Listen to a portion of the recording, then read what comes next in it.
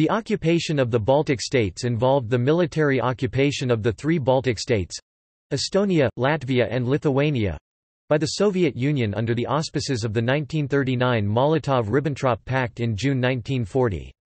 They were then incorporated into the Soviet Union as constituent republics in August 1940, though most Western powers never recognized their incorporation. On the 22nd of June 1941, Nazi Germany attacked the Soviet Union and within weeks occupied the Baltic territories. In July 1941, the Third Reich incorporated the Baltic territory into its Reichskommissariat Ostland. As a result of the Red Army's Baltic Offensive of 1944, the Soviet Union recaptured most of the Baltic states and trapped the remaining German forces in the Courland Pocket until their formal surrender in May 1945. The Soviet annexation occupation German, Annexionsbesetzung or occupation sui generis of the Baltic states lasted until August 1991, when the three countries regained their independence. The Baltic states themselves, the United States and its courts of law, the European Parliament, the European Court of Human Rights and the United Nations Human Rights Council have all stated that these three countries were invaded, occupied and illegally incorporated into the Soviet Union under provisions of the 1939 Molotov–Ribbentrop Pact. There followed occupation by Nazi Germany from 1941 to 1944 and then again occupation by the Soviet Union from 1944 to 1991. This policy of non-recognition has given rise to the principle of legal continuity of the Baltic states, which holds that de jure, or as a matter of law, the Baltic states had remained independent states under illegal occupation throughout the period from 1940 to 1991. In its reassessment of Soviet history that began during perestroika in 1989, the Soviet Union condemned the 1939 secret protocol between Germany and itself. However, the Soviet Union never formally acknowledged its presence in the Baltics as an occupation or that it annexed these states and considered the Estonian, Latvian and Lithuanian Soviet Socialist republics as three of its constituent republics. On the other hand, the Russian Soviet Federative Socialist Republic recognized in 1991 the events of 1940 as annexation Nationalist patriotic Russian historiography and school textbooks continue to maintain that the Baltic states voluntarily joined the Soviet Union after their peoples all carried out socialist revolutions independent of Soviet influence. The post-Soviet government of the Russian Federation and its state officials insist that incorporation of the Baltic states was in accordance with international law and gained de jure recognition by the agreements made in the February 1945 Yalta and the July-August 1945 Potsdam conferences and by the 1975 Helsinki Accords, which declared the inviolability of existing frontiers. However, Russia agreed to Europe's demand to assist persons deported from the occupied Baltic states upon joining the Council of Europe in 1996. Additionally, when the Russian Soviet Federative Socialist Republic signed a separate treaty with Lithuania in 1991, it acknowledged that the 1940 annexation as a violation of Lithuanian sovereignty and recognized the de jure continuity of the Lithuanian state. Most Western governments maintained that Baltic sovereignty had not been legitimately overridden and thus continued to recognize the Baltic states as sovereign political entities represented by the legations appointed by the pre-1940 Baltic states which functioned in Washington and elsewhere. The Baltic states recovered de facto independence in 1991 during the dissolution of the Soviet Union. Russia started to withdraw its troops from the Baltics starting from Lithuania in August 1993. The full withdrawal of troops deployed by Moscow ended in August 1994. Russia officially ended its military presence in the Baltics in August 1998 by decommissioning the Skrunda-1 radar station in Latvia. The dismantled installations were repatriated to Russia and the site returned to Latvian control, with the last Russian soldier leaving Baltic soil in October 1999. Background Early in the morning of August 24, 1939, the Soviet Union and Germany signed a 10-year non-aggression pact, called the Molotov–Ribbentrop Pact. The pact contained a secret protocol by which the states of Northern and Eastern Europe were divided into German and Soviet spheres of influence. In the north, Finland, Estonia and Latvia were assigned to the Soviet sphere. Poland was to be partitioned in the event of its political rearrangement The areas east of the Narew, Vistula and San rivers going to the Soviet Union while Germany would occupy the west. Lithuania, adjacent to East Prussia, would be in the German sphere of influence, although a second secret protocol agreed in September 1939 assigned the majority of Lithuanian territory to the Soviet Union. According to this secret protocol, Lithuania would regain its historical capital Vilnius, previously subjugated during the interwar period by Poland. Following the end of Soviet invasion of Poland on 6 October, the Soviets pressured Finland and the Baltic states to conclude mutual assistance treaties. The Soviets questioned the neutrality of Estonia after the escape of an interned Polish submarine on 18 September. A week later on 24 September, the Estonian foreign minister was given an ultimatum in Moscow. The Soviets demanded the conclusion of a treaty of mutual assistance to establish military bases in Estonia. The Estonians had no choice but to accept naval, air and army bases on two Estonian islands and at the port of Paldiski. The corresponding agreement was signed on 28 September 1939. Latvia followed on 5 October 1939 and Lithuania shortly thereafter, on 10 October 1939. The agreements permitted the Soviet Union to establish military bases on the Baltic states' territory for the duration of the European War and to station 25,000 Soviet soldiers in Estonia, 30,000 in Latvia and 20,000 in Lithuania from October 1939. Soviet occupation and annexation 1940–1941 In September and October 1939, the Soviet government compelled the Baltic states to conclude mutual assistance pacts which gave it the right to establish Soviet military bases. In May 1940, the Soviets turned to the idea of direct military intervention, but still intended to rule through puppet regimes. Their model was the Finnish Democratic Republic, a puppet regime set up by the Soviets on the first day of the Winter War. The Soviets organized a press campaign against the allegedly pro-Allied sympathies of the Baltic governments. In May 1940, the Germans invaded France, which was overrun and occupied a month later. In late May and early June 1940, the Baltic states were accused of military collaboration against the Soviet Union by holding meetings the previous winter. On 15 June 1940, the Lithuanian government had no choice but to agree to the Soviet ultimatum and permit the entry of an unspecified number of Soviet troops.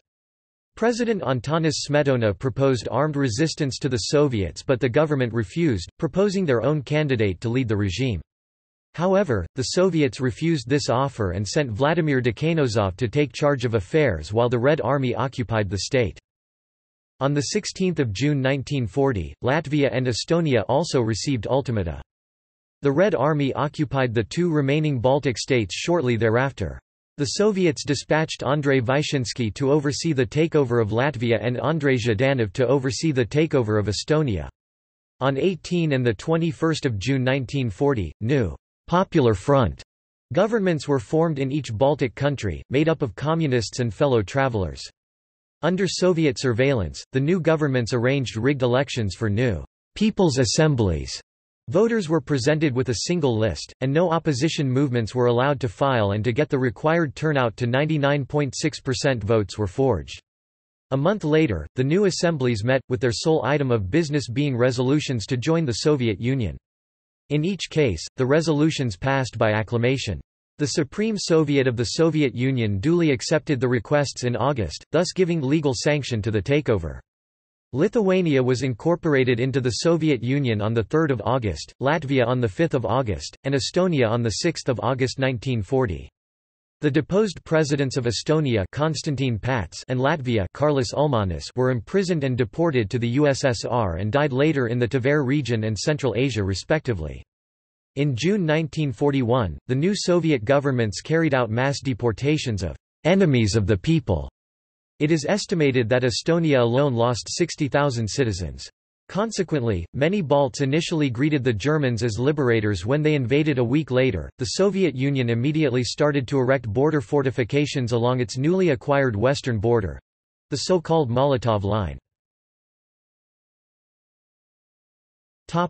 German occupation 1941 1944 Topic. Ostland province and the Holocaust. On the 22nd of June 1941 the Germans invaded the Soviet Union. The Baltic states, recently Sovietized by threats, force, and fraud, generally welcomed the German armed forces when they crossed the frontiers. In Lithuania, a revolt broke out and an independent provisional government was established. As the German armies approached Riga and Tallinn, attempts to re-establish national governments were made. It was hoped that the Germans would re-establish Baltic independence. Such political hopes soon evaporated and Baltic cooperation became less forthright or ceased altogether. The Germans aimed to annex the Baltic territories to the Third Reich where «suitable elements» were to be assimilated and «unsuitable elements» exterminated. In actual practice, the implementation of occupation policy was more complex. For administrative convenience, the Baltic states were included with Belorussia in the Reichskommissariat Ostland. The area was ruled by Heinrich Lohse who was obsessed with bureaucratic regulations. The Baltic area was the only eastern region intended to become a full province of the Third Reich. Nazi racial attitudes to the Baltic people differed between Nazi authorities. In practice, racial policies were directed not against the majority of Balts but rather against the Jews. Large numbers of Jews were living in the major cities, notably in Vilnius, Kaunas and Riga. The German mobile killing units slaughtered hundreds of thousands of Jews. Einsatzgruppe A, assigned to the Baltic area, was the most effective of four units. German policy forced the Jews into ghettos. In 1943 Heinrich Himmler ordered his forces to liquidate the ghettos and to transfer the survivors to concentration camps. Some Latvians and Lithuanian conscripts collaborated actively in the killing of Jews, and the Nazis managed to provoke pogroms locally, especially in Lithuania. Only about 75% of Estonian and 10% of Latvian and Lithuanian Jews survived the war. However, for the majority of Baltic people, German rule was less harsh than Soviet rule had been, and it was less brutal than German occupations elsewhere in Eastern Europe. Local puppet regimes performed administrative tasks and schools were permitted to function. However, most people were denied the right to own land or businesses. Baltic nationals within the Soviet forces The Soviet administration had forcefully incorporated the Baltic national armies at the wake of the occupation in 1940. Most of the senior officers were arrested and many of them murdered. During the German invasion, the Soviets conducted a forced general mobilization that took place in violation of the international law. Under the Geneva Conventions, this act of violence, is seen as a grave breach and war crime, because the mobilized men were treated as arrestants from the very beginning. In comparison with the general mobilization proclaimed in the Soviet Union, the age range was extended by nine years in the Baltics, all reserve officers were also taken. The aim was to deport all men capable to fight to Russia, where they were sent to convict camps. Almost half of them perished because of the transportation conditions, slave labor, hunger, diseases, and the repressive measures of the NKVD. In addition, destruction battalions were formed under the command of the NKVD. Hence, Baltic nationals fought in both German and Soviet army ranks. There was the 201st Latvian Rifle Division. The 308th Latvian Rifle Division was awarded the Red Banner Order after the expulsion of the Germans from Riga in the autumn of 1944. An estimated 60,000 Lithuanians were drafted into the Red Army. During 1940, on the basis of disbanded Lithuanian army, Soviet authorities organized 29th Territorial Rifle Corps. Decrease in quality of life and service conditions, forceful indoctrination of communist ideology, caused discontent of recently Sovietized military units. Soviet authorities responded with repressions against Lithuanian officers of the 29th Corps, arresting over 100 officers and soldiers and subsequently executing around 20 in autumn 1940. By that time allegedly near 3,200 officers and soldiers of 29th Corps were considered politically unreliable. Due to high tensions and soldiers' discontent the 26th Cavalry Regiment was disbanded. During the 1941 June deportations over 320 officers and soldiers of 29th Corps were arrested and deported to concentration camps of executed. The 29th Corps collapsed with the German invasion into Soviet Union. On June 25 to 26, a rebellion broke in its 184th Rifle Division. The other division of the 29th Corps, the 179th Rifle Division lost most of its soldiers during the retreat from Germans mostly to deserting of its soldiers. A total of less than 1,500 soldiers from initial strength of around 12,000 reached the area of PSKOV by August 1941. By the second part of 1942, most of Lithuanians remaining in the Soviet ranks as well as male war refugees from Lithuania were organized into 16th Rifle Division during its second formation.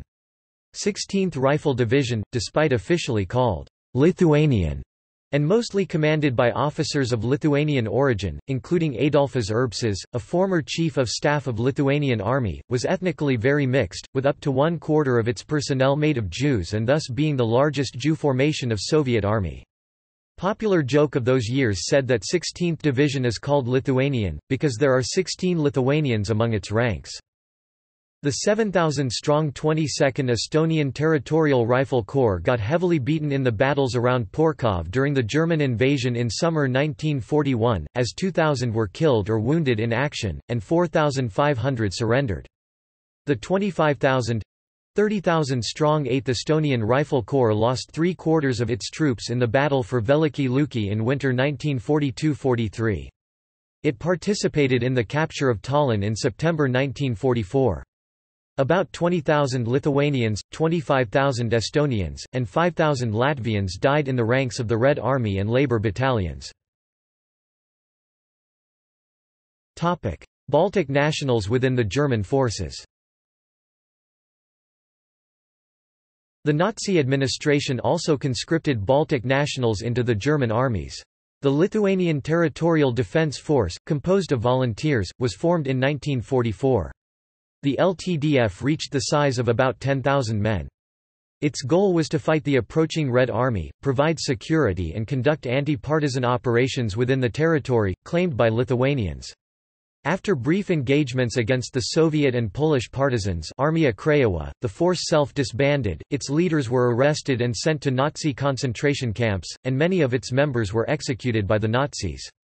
Latvian Legion, created in 1943, consisted of two conscripted divisions of the Waffen-SS. On July 1, 1944 the Latvian Legion had 87,550 men. Another 23,000 Latvians were serving as Wehrmacht auxiliaries.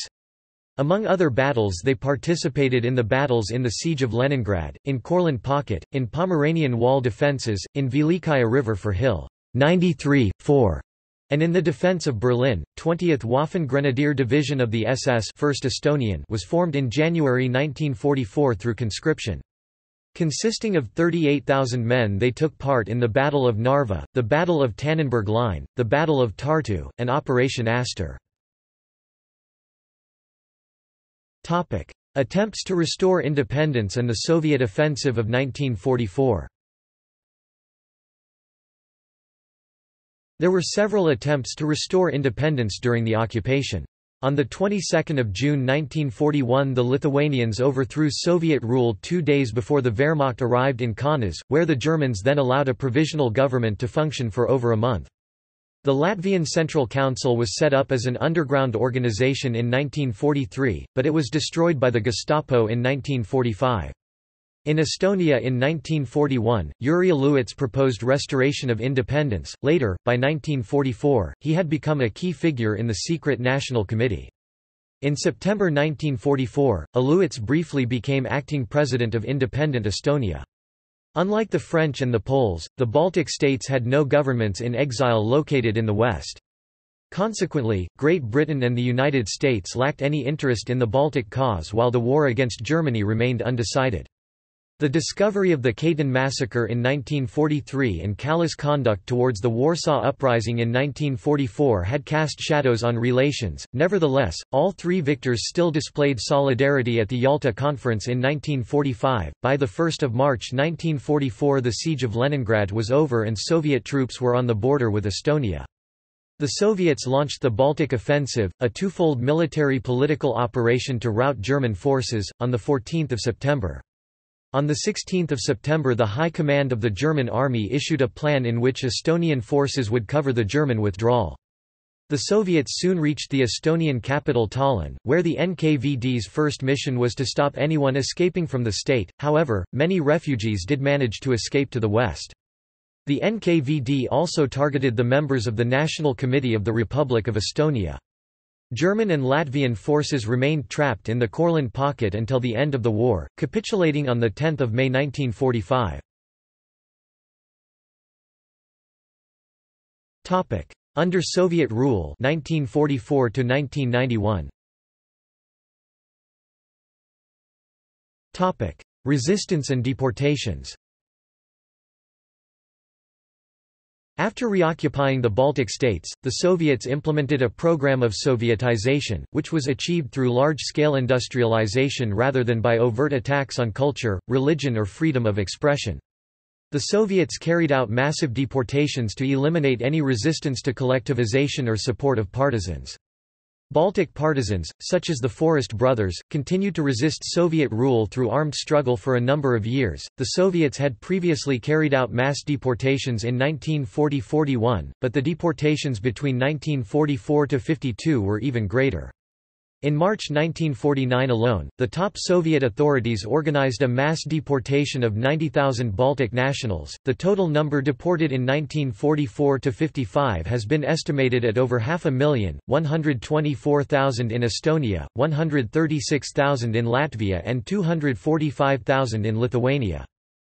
The estimated death toll among Lithuanian deportees between 1945 and 1958 was 20,000, including 5,000 children. The deportees were allowed to return after Nikita Khrushchev's secret speech in 1956 denouncing the excesses of Stalinism, however, many did not survive their years of exile in Siberia.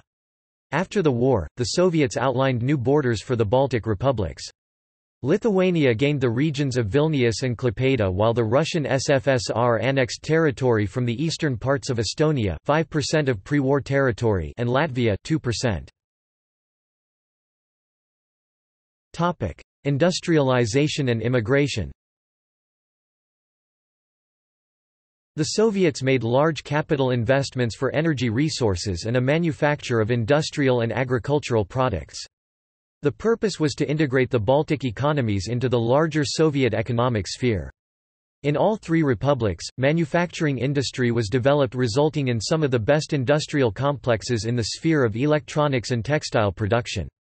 The rural economy suffered from the lack of investments and the collectivization. Baltic urban areas had been damaged during wartime and it took 10 years to recuperate housing losses. New constructions were often of poor quality and ethnic Russian immigrants were favored in housing.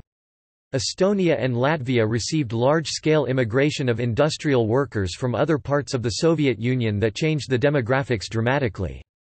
Lithuania also received immigration but on a smaller scale. Ethnic Estonians constituted 88% before the war, but in 1970 the figure dropped to 60%. Ethnic Latvians constituted 75%, but the figure dropped 57% in 1970 and further down to 50.7% in 1989. In contrast, the drop in Lithuania was only 4%. Baltic communists had supported and participated the 1917 October Revolution in Russia. However, many of them died during the Great Purge in the 1930s. The new regimes of 1944 were established mostly by native communists who had fought in the Red Army. However, the Soviets also imported ethnic Russians to fill political, administrative and managerial posts. Restorations of independence The period of stagnation brought the crisis of the Soviet system. The new Soviet leader Mikhail Gorbachev came to power in 1985 and responded with glasnost and perestroika. They were attempts to reform the Soviet system from above to avoid revolution from below.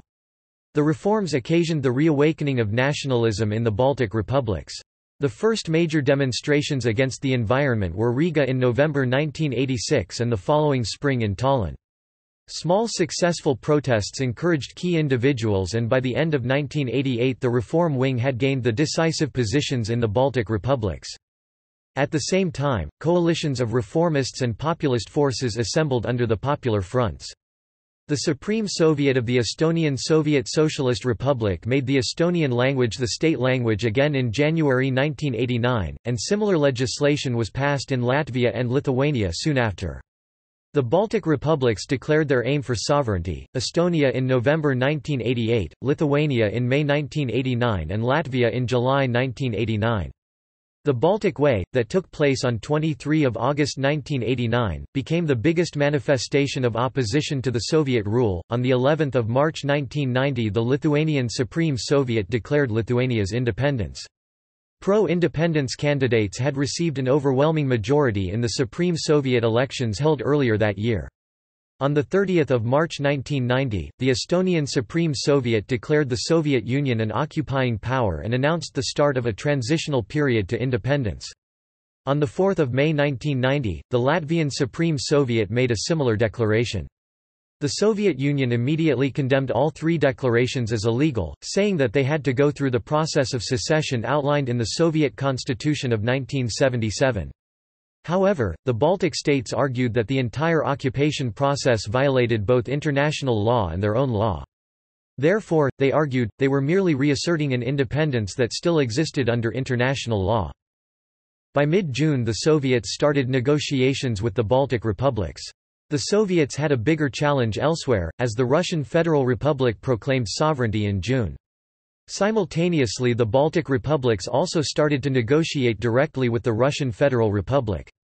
After the failed negotiations the Soviets made a dramatic but failed attempt to break the deadlock and sent in military troops killing 20 and injuring hundreds of civilians in what became known as the Vilnius Massacre and the Barricades in Latvia during January 1991. In August 1991, the hardline members attempted to take control of the Soviet Union. A day after the coup on 21 August, the Estonians proclaimed full independence. The Latvian parliament made similar a declaration on the same day. The coup failed but the collapse of the Soviet Union became unavoidable. After the coup collapsed, the Soviet government recognized the independence of all three Baltic states on 6 September 1991. Withdrawal of Russian troops and decommissioning the radars The Russian Federation assumed the burden and the subsequent withdrawal of the occupation force, consisting of about 150,000 former Soviet, now Russian, troops stationed in the Baltic states. As of 1992 there were still 120,000 Russian troops there, as well as a large number of military pensioners, particularly in Estonia and Latvia. During the period of negotiations, Russia hoped to retain facilities such as the Liepaja naval base, the Skrunda anti-ballistic missile radar station and the Ventspils space monitoring station in Latvia and the Paldiski submarine base in Estonia, as well as transit rights to Kaliningrad through Lithuania. Contention arose when Russia threatened to keep its troops where they were. Moscow's linkage to specific legislation guaranteeing the civil rights of ethnic Russians was seen as an implied threat in the West, in the UN General Assembly and by Baltic leaders, who viewed it as Russian imperialism. Lithuania was the first to complete the withdrawal of Russian troops on August 31, 1993. Owing in part to the Kaliningrad issue, subsequent agreements to withdraw troops from Latvia were signed on April 30, 1994, and from Estonia on July 26, 1994. Continued linkage on the part of Russia resulted in a threat by the U.S. Senate in mid-July to halt all aid to Russia in case the forces were not withdrawn by the end of August. Final withdrawal was completed on August 31, 1994. Some Russian troops remained stationed in Estonia in Paldiski until the Russian military base was dismantled and the nuclear reactors suspended operations on September 26, 1995. Russia operated the Skrunda-1 radar station until it was decommissioned on August 31, 1998. The Russian government then had to dismantle and remove the radar equipment. This work was completed by October 1999 when the site was returned to Latvia. The last Russian soldier left the region that month, marking a symbolic end to the Russian military presence on Baltic soil. Aftermath In the years following the re-establishment of Baltic independence, tensions have remained between indigenous Balts and Russian-speaking settlers in Estonia and Latvia. While requirements for getting citizenship in the Baltic states are relatively liberal, a lack of attention to the rights of Russian-speaking and stateless individuals in the Baltic states has been noted by some experts, whereas all international organizations agree that no forms of systematic discrimination towards the Russian-speaking and often stateless population can be observed. In 1993 Estonia was noted for having problems concerning the successful integration of some who were permanent residents at the time Estonia gained independence. According to a 2008 report of Special Rapporteur on Racism to United Nations Human Rights Council the representatives of the Russian-speaking communities in Estonia saw the most important form of discrimination in Estonia as not ethnic, but rather language-based para. 56. The rapporteur expressed several recommendations including strengthening the Chancellor of Justice, facilitating granting citizenship to persons of undefined nationality and making language policy subject of a debate to elaborate strategies better reflecting the multilingual character of society Paris, 89–92. Estonia has been criticized by the UN Committee on the Elimination of Racial Discrimination strong emphasis on Estonian language in the state integration strategy, usage of punitive approach for promoting Estonian language, restrictions of the usage of minority language in public services, low level of minority representation in political life, persistently high number of persons with undetermined citizenship, etc. According to Yael Ronen, of the Minerva Center for Human Rights at the Hebrew University of Jerusalem, illegal regimes typically take measures to change the demographic structure of the territory held by the regime, usually via two methods, the forced removal of the local population and transfer their own populations into the territory. He cites the case of the Baltic states as an example of where this phenomenon has occurred, with the deportations of 1949 combined with large waves of immigration in 1945–50 and 1961–70. When the illegal regime transitioned to a lawful regime in 1991, the status of these settlers become an issue. State continuity of the Baltic states The Baltic claim of continuity with the pre-war republics has been accepted by most Western powers. As a consequence of the policy of non-recognition of the Soviet seizure of these countries, combined with the resistance by the Baltic people to the Soviet regime, the uninterrupted functioning of rudimentary state organs in exile in combination with the fundamental legal principle of ex injuria jus non oritur, that no legal benefit can be derived from an illegal act, the seizure of the Baltic states was judged to be illegal thus sovereign title never passed to the Soviet Union and the Baltic states continued to exist as subjects of international law. The official official position of Russia, which chose in 1991 to be the legal and direct successor of the USSR, is that Estonia, Latvia, and Lithuania joined freely of their own accord in 1940, and, with the dissolution of the USSR, these countries became newly created entities in 1991. Russia's stance is based upon the desire to avoid financial liability, the view being that acknowledging the Soviet occupation would set the stage for future compensation claims from the Baltic states. Soviet and Russian historiography Soviet historians saw the 1940 incorporation as a voluntary entry into the USSR by the Balts. Soviet historiography inherited the Russian concept from the age of Kievan Rus carried through the Russian Empire. It promoted the interests of Russia and the USSR in the Baltic area, and it reflected the belief of most Russians that they had moral and historical rights to control and to Russianize the whole of the former empire.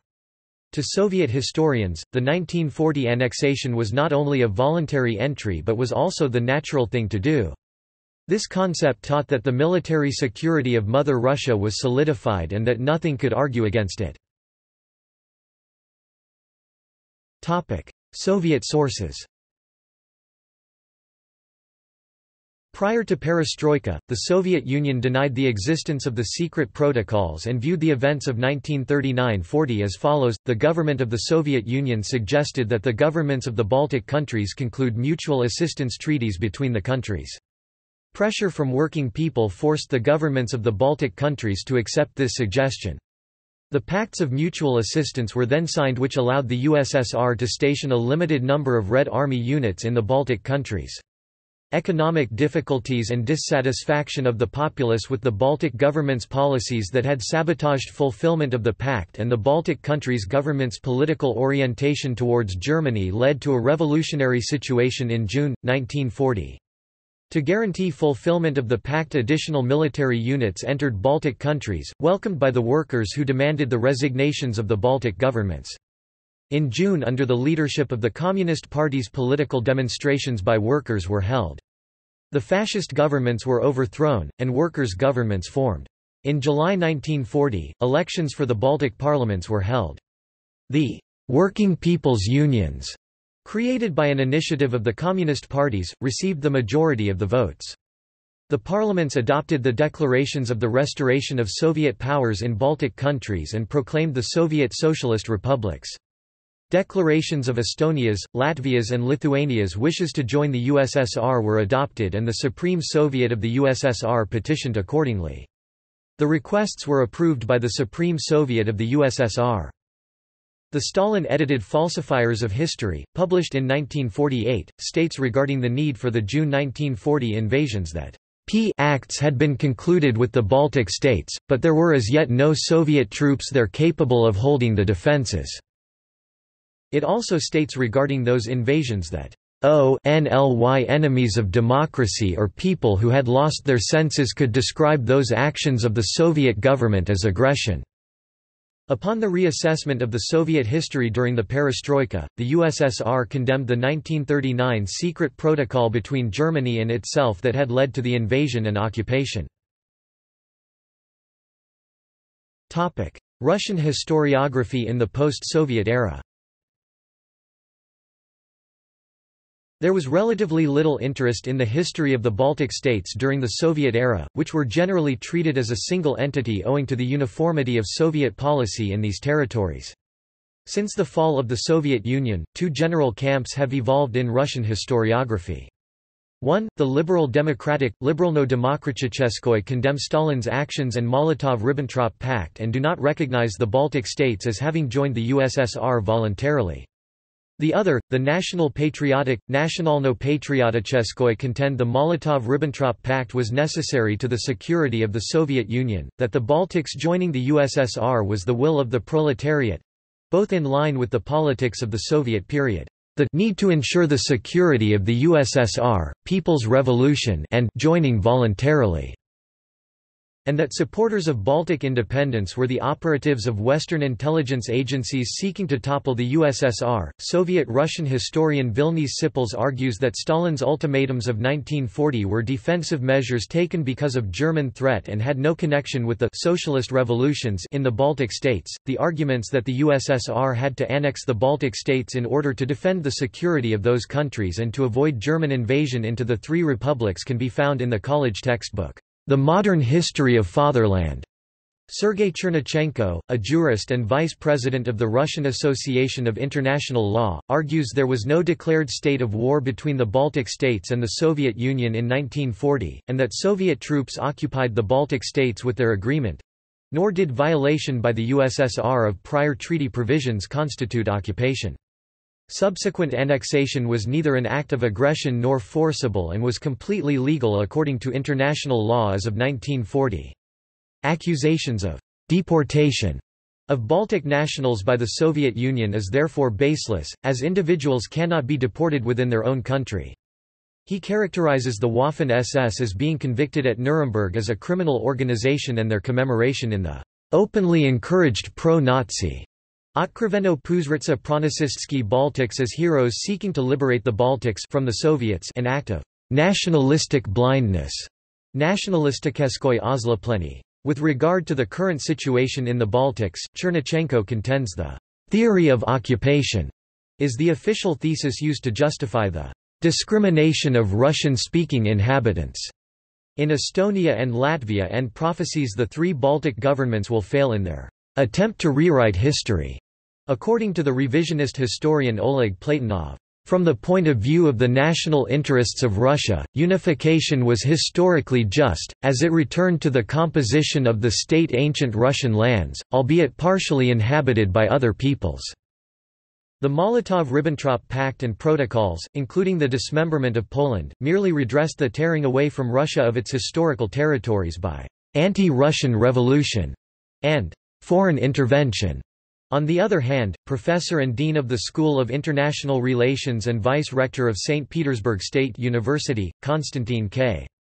Khudoley views the 1940 incorporation of the Baltic states as not voluntary, he considers the elections were not free and fair and the decisions of the newly elected parliaments to join the Soviet Union cannot be considered legitimate as these decisions were not approved by the upper chambers of the parliaments of the respective Baltic states.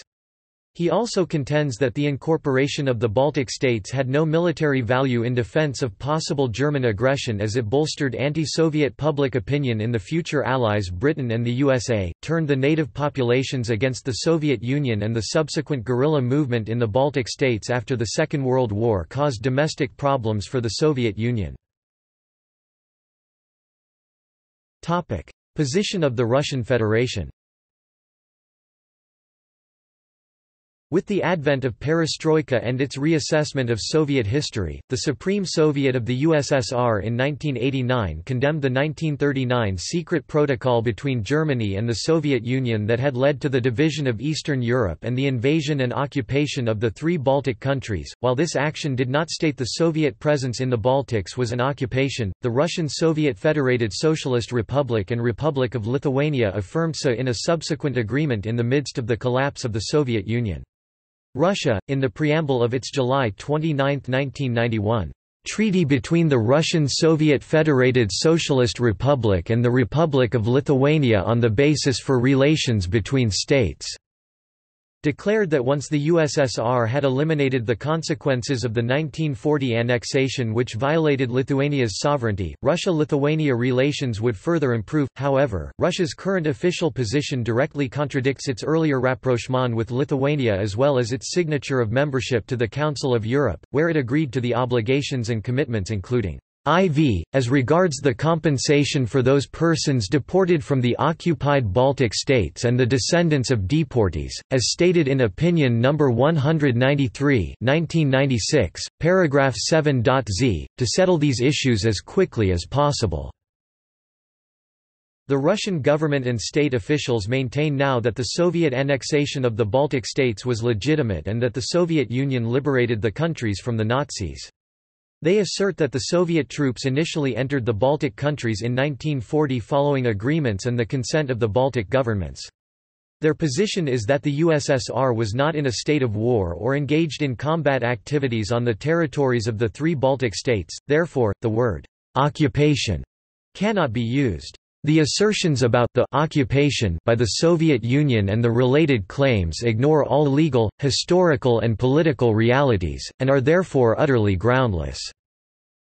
Russian Foreign Ministry This particular Russian viewpoint is called the myth of 1939–40 by David Mendeloff, associate professor of international affairs who states that the assertion that Soviet Union neither occupied the Baltic states in 1939 nor annexed them the following year is widely held and deeply embedded in Russian historical consciousness. Treaties affecting USSR-Baltic relations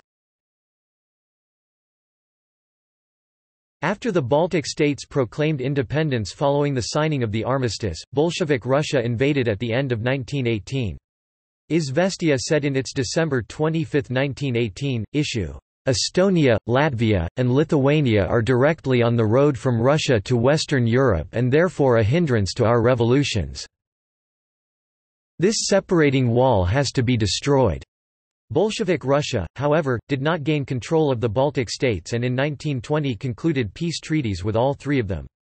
Subsequently, at the initiative of the Soviet Union, additional non-aggression treaties were concluded with all three Baltic states. Peace treaties Non-aggression treaties. Kellogg-Briand Pact and Litvinov's Pact. The Convention for the Definition of Aggression. The Pacts of Mutual Assistance. Treaties the USSR signed between 1940 and 1945 Topic. Timeline. Topic. See also Kersten Committee Forest Brothers, Estonian, Latvian, and Lithuanian partisans who waged a guerrilla war against Soviet rule. Battle of Maritsa. January 1991 events in the aftermath of the act of the re-establishment of the State of Lithuania, resulting in deaths and injuries. Litene, where 1,100 Latvian army officers were arrested by the Soviets in 1941 Museum of Occupations, Tallinn, a project by the Kistler-Ritso Estonian Foundation. Occupations of Latvia. Population transfer in the Soviet Union. Rainiai massacre of Lithuanian political prisoners in 1941 State continuity of the Baltic states. Territorial changes of the Baltic states. United States resolution on the 90th anniversary of the Latvian Republic Villa Lituania, the inter-war Lithuanian legation building in Rome, Italy References. Citations. Bibliography. Further reading Regarding the procedure for carrying out the deportation of anti-Soviet elements from Lithuania, Latvia, and Estonia, full text, English. The Global Museum on Communism about the occupation of Estonia by the Soviet Union. The Occupation Museum of Latvia. Gulag 113 Canadian film about Estonians mobilized into the Red Army 1941 and forced into labor in the Gulag Soviet aggression against the Baltic states by Latvian Supreme Court Justice Augusts Rumpeters Short and thoroughly annotated dissertation on Soviet-Baltic treaties and relations, 1974. Full text Situation in Soviet-occupied Estonia in 1955–1956. Manivald Rostas, Eduard Aune, 1956. Topic: Academic and media articles. Malksoo, Lauri 2000. Professor Uluots, The Estonian Government in Exile and the Continuity of the Republic of Estonia in International Law. Nordic Journal of International Law 69.3, 289–316. Non-recognition in the courts, The Ships of the Baltic Republics by Herbert W. Briggs. In the American Journal of International Law Volume 37, No. 4 October, 1943, pp. 585–596. Alfred Erich Senn What Happened in Lithuania in 1940, pdf. The Soviet Occupation of the Baltic States, by Irina Saburova. In Russian Review, 1955. The Steel Curtain, Time Magazine, April 14, 1947 The Iron Heel, Time Magazine, December 14, 1953.